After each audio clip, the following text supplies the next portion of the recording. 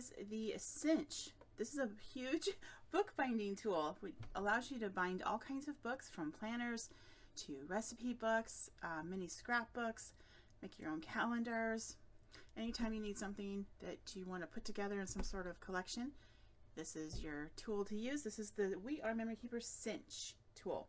Today we're going to be making a really fun recipe book and I'm going to feature this collection here from Simple Stories called Hearth and Home.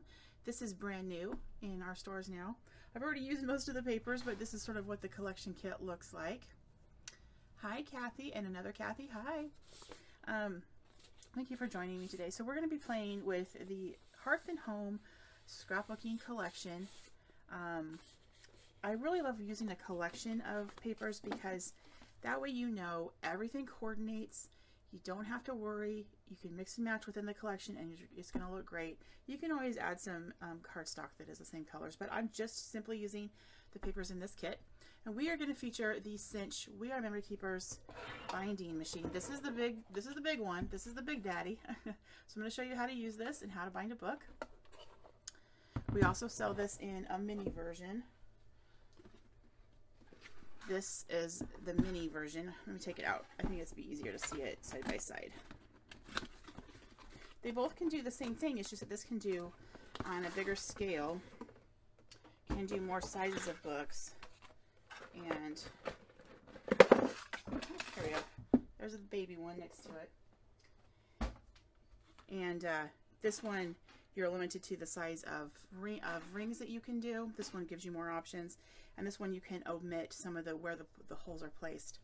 So if you're just getting started, the mini cinch is a great, great way to go. I am going to be featuring the big cinch today, the original, the Big Daddy. Um, there is a video for this one already. Um, after this video is over, I will go back, read through your comments, see if there's any questions to answer, and I'll find a link to this and this video and post that link in the comments of this one for you. Okay.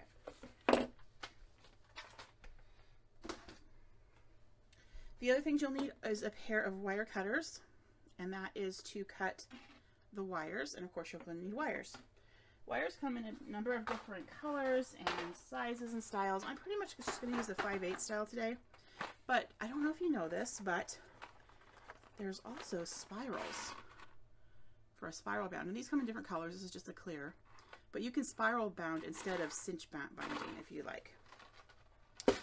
And then I, you know, there's pink, there's silver, there's gold. Each box comes with four 12 inch long O wires or spirals, depending on which what you're choosing. And then you are clipping them with the wire cutters to the size of your book.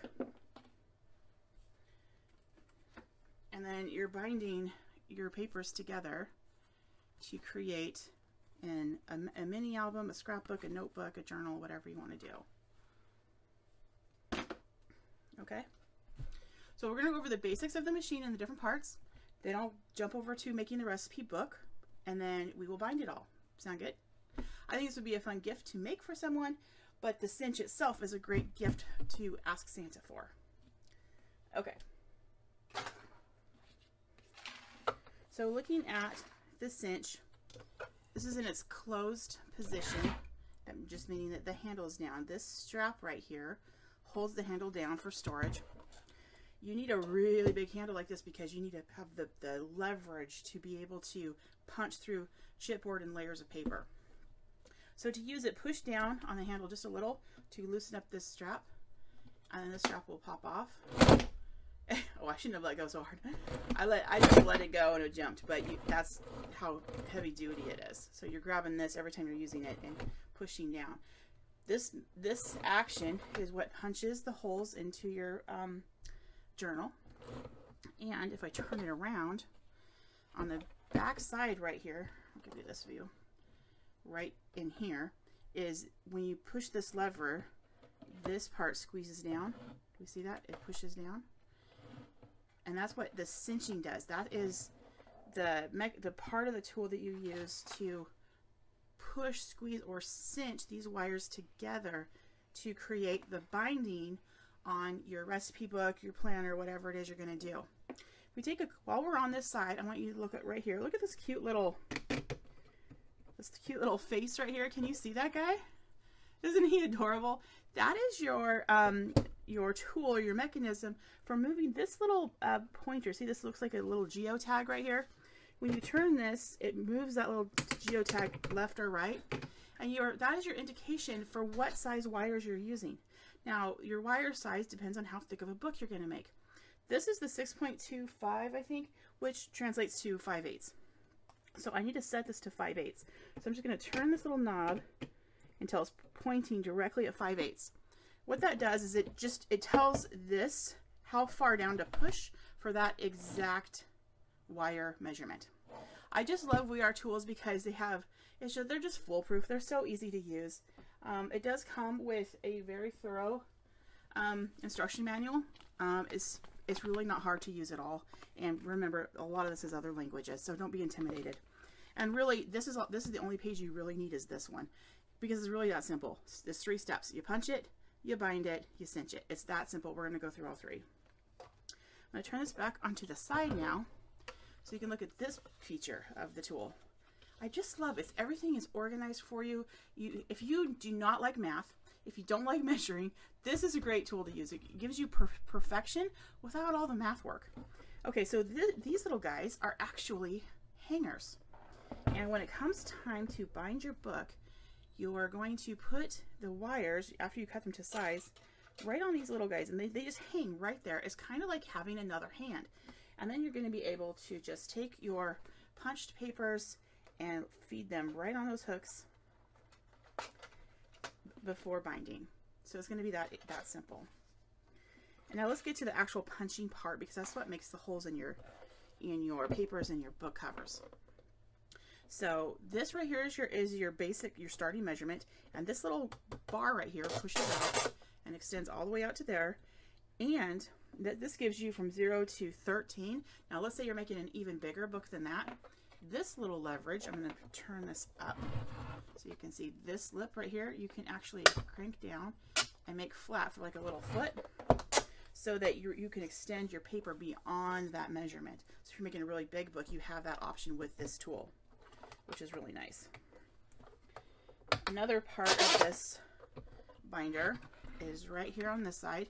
This little tiny lever right here, if I push down, see it locked down, this little peg locks down.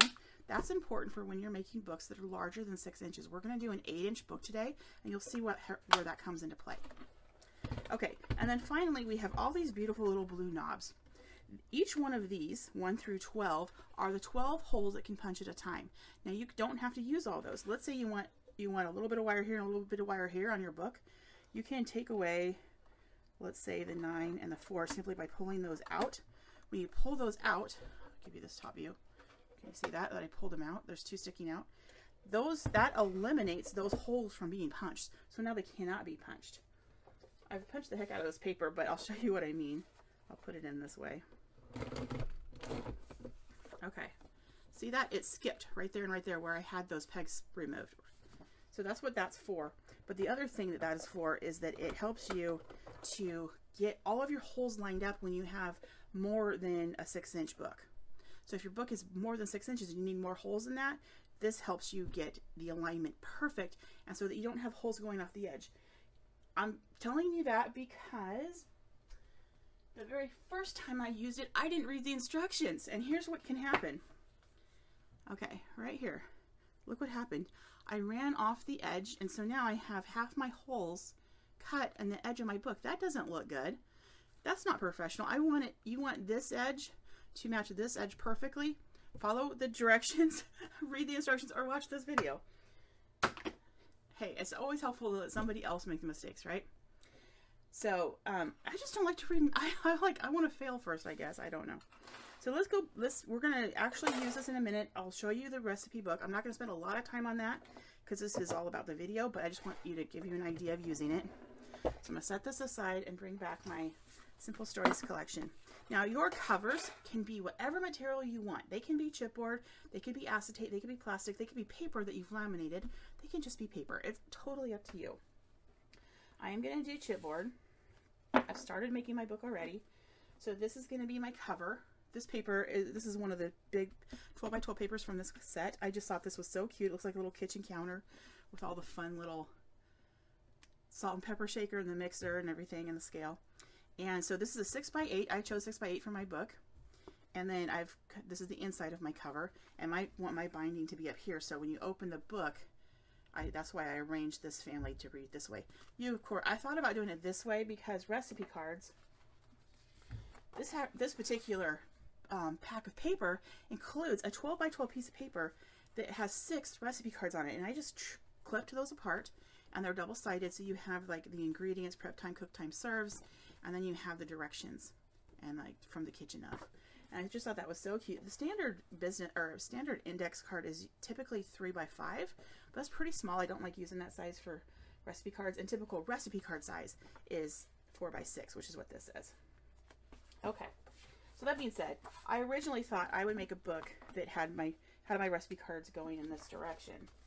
And so I would have two like this. But if I kept it at it, which would work, but I would certainly have to then bind it like this. And if I, I would have to make my book bigger in order to have a little bit of allowance for the binding.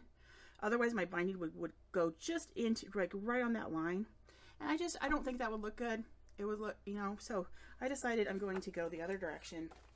Um, you certainly can make this book any size you want. It's totally up to you. Okay. So anyway, this is my front cover, a 6 by 8 piece of card of chipboard that I cut the paper down to fit there and there and this is another one of the cutouts that was in this set. So that's my front cover and that's the inside of my front cover. Then just for fun and also for this video to show you that you can use other kinds of materials, this is a piece of acetate that I cut to 6 by 8 Added a little bit of washi, which is also from this collection. Uh, here are the, it's a whole little set of washi that perfectly coordinates. I love this set because um, the set of this collection because it's hearth and home. Um, so there's a little bit of kitchen stuff in it, but it's not strictly that. So you can use it for a lot of different themes or, or occasions. And so the washi tape definitely fits that. There's nothing kitcheny about this at all or recipe-y about this at all, but they're just so cute. So I used that as a little liner on the edge of the acetate. And these embellishments are from the 12 by 12 foam sticker sheets, which I thought were really cute. And I thought, you know what, I think I maybe will use some of these in on my cover. And I love to use this, use the, when they have a sticker sheet on a clear piece, you can put it right over your project and see what it looks like. And I was thinking I would do this recipes, and it looks like the eye is the center, so I'm going to lay that down first.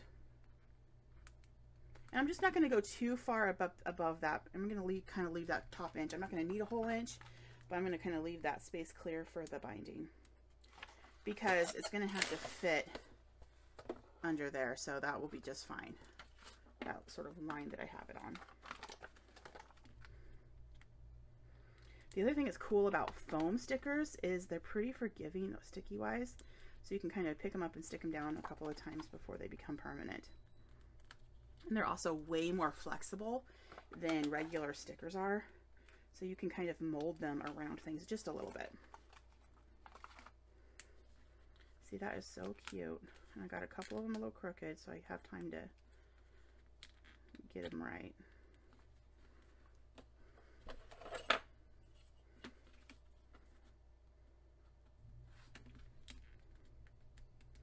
I'm just using the ruler to kind of help me make sure I got them got them kind of in a straight line there. I think that's really cute.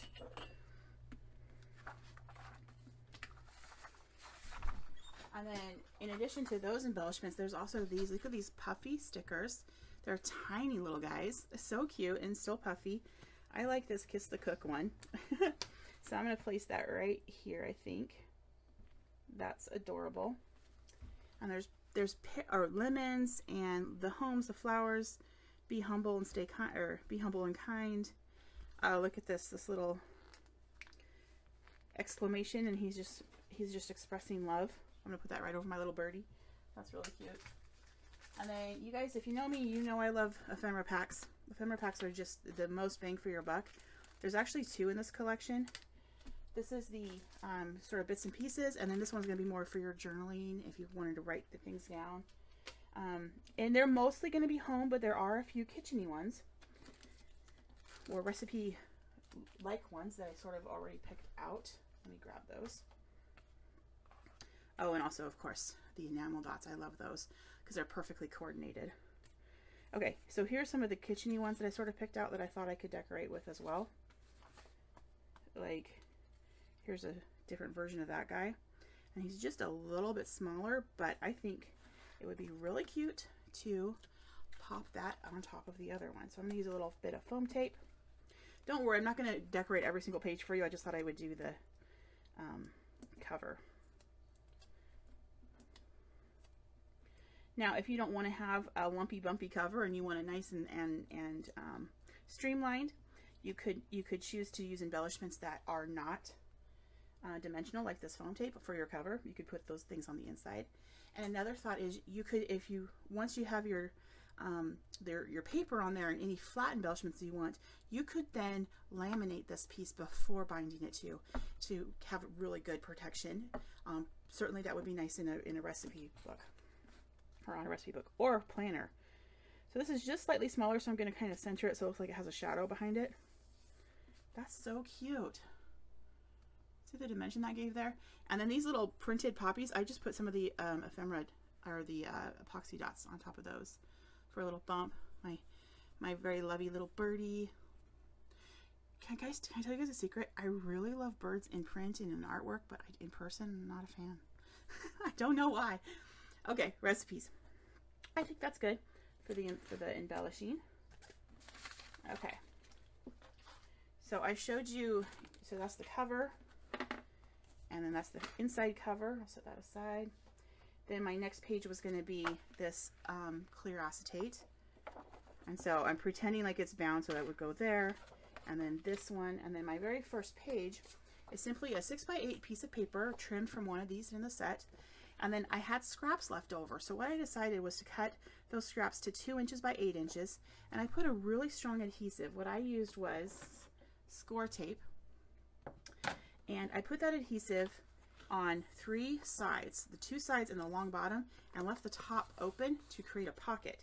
And then I took one, since these are going to have to be double-sided, and I might want to print or write my recipes on here and then laminate these later, I'm to, my idea was I would slide them in here. That way when you're using the book, you can find the recipe you want and pull it out. It's laminated and protected. You can keep your book to the side. That was sort of my thought process. And then also it allows room to then add more or if you take a photo of it or a photo of your family enjoying it or maybe what would be really fun is to add a few blank note cards or tags to these pockets and then after you create after you serve it to your family or your friends you could ask them to write you a review and you could put their little notes in there too salty you know and you can remember that that Johnny doesn't like onions or whatever it is okay so little pocket I slid that in there and I'm just going to make sure that this top space is free I'm I got plenty of room there. So I'm going to pretend my binding is here and close that. And then I just made a few pages similar to that. All of these papers are from the set. These, these are all made the same way. I added a little ephemera on this one. So cute. This one I have I added a little of the salt and pepper puffy sticker. Isn't that cute? Right to the recipe card. I love that the recipe cards themselves are nice and big, plenty of room to write. You don't have to write super tiny to make it fit. And then here's the last one I was putting together. I'll just show you how, how I make that pocket. This wood paper is in that set. Isn't that cute? I love that wood grain paper. Looks like a kind of like a butcher block or something. So I'm putting really, really strong tape right down there at the bottom. And the two short sides to make my pocket. Now, if you're fancy and you want to actually stitch on your paper, you can do that. If you have a sewing machine and you want to stitch your paper, that the look of that is just precious. I love it. I, I and I have a sewing machine, but I have no idea how to use it. that's just not my forte. So I'm going to use tape. And of course, all of these papers, I'm just happen to be making it super simple and easy for myself and using a coordinated set. You can certainly do your own thing, add your own ink and your own designs and your own embellishments. Make it as fancy or as not fancy as you want. I want to make sure that when you open it, these words are legible in this direction. Um, so if you're using a or a directional print, that's something to consider. If you don't care, then that doesn't matter. But I want it to look like this on the back side when you flip the page up. So I'm going to make sure that I put this down here. And whenever I make a pocket, I like to put two fingers inside of where the pocket would be, one or two, depending on how big your pocket is. And then line it up. And I'm choosing for all these pockets to come up from the bottom just a little, and it's not necessary. It's just like, I like that aesthetic of having a little strip of the original paper at the bottom. And that is how I make the pocket. And then I can slide in recipe cards. Okay. And then that would go like this. And then I have my last piece of acetate that I can put there. And I thought I would put a little washi on that one. And I think maybe this color is really cute. I've never used this particular one, so I have to find the end. There she is. Okay. So it's probably hard to see the clear on my desk, but it's right here. I'm going to overestimate how much I need. And I'm going to put it right at the bottom, like lining up the edge, right at the bottom of that. And I'm going to wrap it around. And then to cover up this white spot and also to reinforce it, I'm going to put another strip on this side. And then my book will be ready to be bound. So I think this would be a really fun gift. Like I said, and it would be fun to make for other people. Can you imagine, like, have any of you done cookie exchanges this year? How fun would it be to collect recipes from everybody that was in your cookie exchange? You can have all those recipes printed and copied and all of that, or you can do it yourself on your computer. And then you could make little bound recipe books with all those recipes for everybody that attended. Wouldn't that be nice? Okay, and then you could certainly add more embellishments to this, but I've added that little lip there. This would be, this is a really fun thing to do on planners as well. Okay, and then that's my last page. And then this is my back cover. Another one of these cutouts is from this paper set. And then this paper, is in this cute? Let's compare that to my front cover. Look at that. Isn't that sweet? They totally coordinate. This is just a scaled down version of that. Laura, you think it'd make a great gift? I know. It would be. Okay, so before I bind and punch and everything, I'm going to make sure that I have everything organized the way that it needs to be before you punch, before you commit. So let's do that. All right. So front cover looks good. Then I want that one. Yes, yes, yes, yes, yes. Ah, put that one in wrong. Like that and like that. Because I wanted the washi to be on the end that you were touching. I got that right on that one. Okay. So those are all mine. Now we can't bind all of these at or punch holes in all these at the same time. So we're going to have to do it in steps, which is another reason why I love this because it's going to help us do it right. Okay. I'm going to start with the cover. And I've got this in the starting position. This is all the way closed. Not like this. It's all the way closed. All of these are pushed in. I want to punch every single hole at this point. So I'm going to put it in here and push it all the way to the back. So it's flush to the back. Whoops. Don't let it move. Okay. Try to make sure, before I punch, I want to make sure you have the right angle. Can we see? See, it slid, so pull forward, so you push it all the way to the back. Okay. So we push it, we put it in there, make sure it's flush, make sure this is all the way in. Grab the handle and pull down. Okay. That should have punched 12 holes. Okay. This end looks great, not close to the end at all. Now I'm going to open it all the way up so I have plenty of room to work here. And this is where this little, let me turn on the side here. This is where, remember we looked at this little lever right here that pushes this peg down? This is where it comes into play. This is the genius of this book, or of this binder that I, and the part that I missed before when I messed up my other book because I didn't do this step. What you do is you're going to put this in here, and what you're looking for is the second to last hole that you punched. So for me, it's this hole right here. I need that hole. I'm going to line it up in here all the way to the back. And what I want to do is get that second to last hole inside of that um, peg. I'm going to turn on the side so you can see what I just did. Okay, let me lift it up. So I've got the second to last hole right underneath of that little peg, and I'm going to push that down. Sorry, I'm doing this upside down. Push that down so that it fits right into that second hole. There we go. You see that? So now it is locked in there. And then I just need to make sure that it's it's straight. And then I need to refer to my guide. Remember I said this is the one page you need to pay attention to, the quick guide. So we've we're in the middle of punching, right? You your book in inches. So this is how big your book is. My book is eight inches along. That's the side that you're you're punching. That's how that's the measurement, eight inches. So I need to pull peg number four because my book is larger than six inches. So eight inches, pull peg number four. These are numbered. Uh, let me turn it so you can see. These are numbered. So I'm gonna find four and pull that out. Let's look at where number four lands. It's right on the edge of this book right here. If I were not to pull that, I'd get a half punch or a quarter punch right there, and it would not look cute. so I pull four, everybody else is in place, my peg's down, my book is pushed to the back straight, and I'm gonna push down. Can you see that this guy did not, is, I'm gonna hold it down for you. I'm gonna use this to help me. And then lift this up so you can see. See everybody else push down and he stayed up? That's what we want. Oh, and release the peg. Okay. Yay! Look. So this edge, perfect. Perfectly matches this edge. I don't have a weird half hole there. Yay, happy dance. Okay, now we just gotta do that again.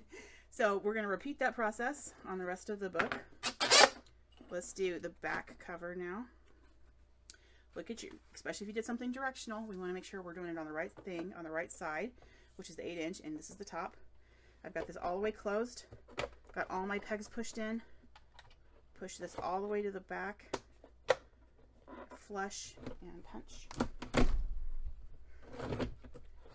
Okay, I've got 12 holes punched. Open this all the way. Push this to the edge, looking for the last second to last hole. Put that in the little leverage uh, lever hole there. Make sure this is flat and arranged in the right order. Pull peg number four because my book is eight inches long pull four, That's the most important for your second punch here. Okay. Oh, lift the lever. And that looks great. Let's compare it to our first one. All our holes line up perfectly. Can you see that? That's awesome. They are perfect match twins of each other. That's amazing. Okay, let's do our pages. I think I'm going to try to do a couple at a time. So I'll do, let's try, let's try three. I've got two plus the acetate. Close that, lift that, push all the pegs in. Flush to the back punch. Oh, that punch is way easier than the chipboard did. Okay, and then pull it out, line everybody up. Go to the second to last hole. We're just going to follow the exact same directions. Get our little lever push down. Pull out number four lift the lever. Perfect. Okay, those go right in there like that. And then I think we can just go ahead and do all the rest of these, which will be one, two, three, and a piece of plastic. Acetate. Close, punches in. They're all facing the right direction. Punch. Open. Go to the second to last hole, push the lever down, Hole number four. Punch. Lift the lever, and we got. Everything's punched. Punching is done. Okay. Let's arrange our book again. So we have front cover, first page, second page, third. This is the back cover. Fourth page, fifth page, sixth page and I'm going to end with the plastic and then that guy, right? So our book is in order. All our holes are punched. It's time to bind. That's where we're going to use this side of the of the machine. I'm going to close this just so I can show it to you a little better. So this little guy, this is your hook hanger. That's what I call it. and then this guy. Now this is 12 inches. This is how it comes out of the box. And we need it to fit this, which is how many holes? 1, 2, 3, 4, 5, 6, 7, 8, 9, 10, 11, 12, 13, 14, 15. So that means I need 15 of these guys. 1, 2, 3, 4, 5, 6, 7, 8, 9, 10, 11, 12, 13, 14, 15. So just after 15, I'm going to come in here with my wire cutters and clip that, that apart. And the, you can just use wire cutters from your garage, but um, We R the cinch does make one that's perfectly coordinated and cute. And you can just have your own. okay, so that's that. Now these little pointy parts on the ends, we'll take care of that in a minute, okay? So let's lay that on top of our hanger, and it just is like another hand for you. Okay, and then we're gonna do not the covers. We don't want those just yet. We're gonna take all the guts. So only the guts. I know this is gonna feel a little bit like you're gonna do that wrong, but this is what we want is all the guts first. So get each little guy in there. Make sure that I didn't miss anybody. Okay, everybody's in there well. Everybody's on the right in the right hook and hole there. Perfect. This little hanger is so handy. Because like I said, it is like having another set of hands. And then we're going to put the front cover on like how we want it. Okay. Now this is the next really big tip. It's not the end of the world if you don't do this, but the reason I didn't put the back, the last page or the back cover on is because when we cinch this, you're going to see the seam of where the wires come together. You're going to, oh, let me pinch this. You would see this seam and we want to hide that seam. So to hide it, um, you're going to take your back cover. This is what I want the back to look like, right? So I'm going to put my back cover facing my front cover like that. So what we are looking at is the inside of the back cover. Okay. Now we are ready to cinch. I'm going to lift this off the hanger. Everybody is bound on there, or you know, in the binding. And going to bring this back over. And now we're going to do the actual cinch part. So remember, I already set this to 5 eighths by turning this little dial. And right here in this little space right here is where I need to put the wires. And I need to get this open end and this open end flush with the back of this machine.